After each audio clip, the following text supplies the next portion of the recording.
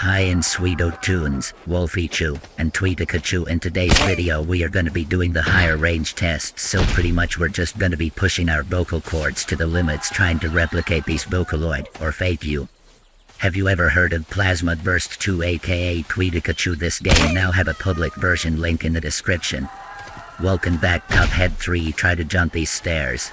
Hello, and this is the tutorial how to get Rabbit, Pikachu, and Cuphead voice from Fake You.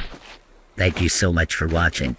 Kumusta sa Sweetletons, Wolfie Cho, at Tweetikachu sa video ngayon gagawa tayo ng mas mataas na hanay pagsubok kaya medyo maditing tayo tinutulak ang ating vocal cord sa limitasyon sinusubukan tayahin ang mga vocaloid dito, o fake you.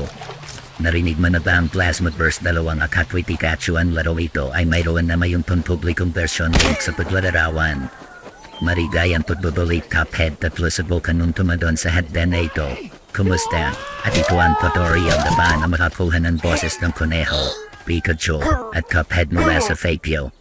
Maraming salamat sa pananood.